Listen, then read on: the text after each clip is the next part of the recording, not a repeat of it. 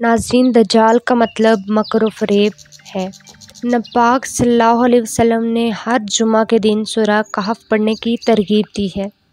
और इसका एक फ़ायदा ये भी है कि इससे दज्जाल के फितने से भी हिफाजत हो जाती है।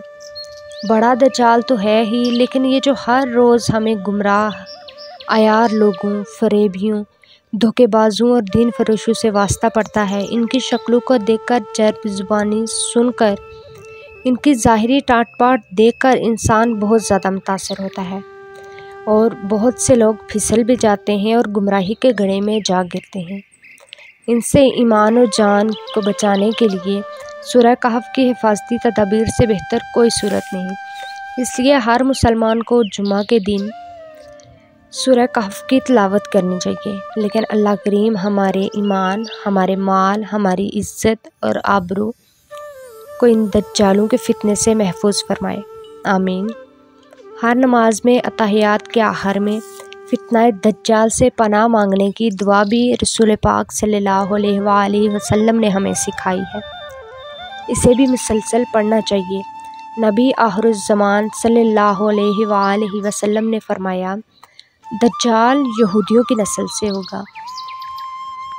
इसका कद ठिगना होगा। दोनों पाँव टेढ़े होंगे और जिसम पर बाल होंगे। रंग सुर्ख या गंदमी होगा। सर के बाल हबशियों की तरह होंगे। नाक चूंच की तरह होगी। बाई आँख से काना होगा।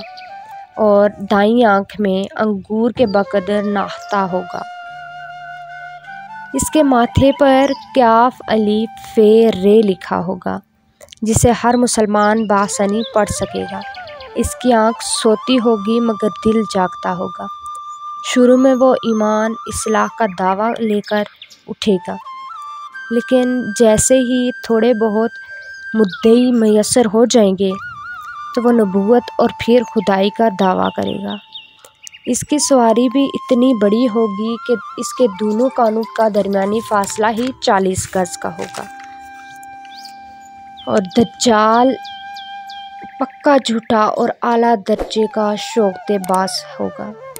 अल्लाह ताला हम सबको दज्जाल के फितने से महफूज फरमाए।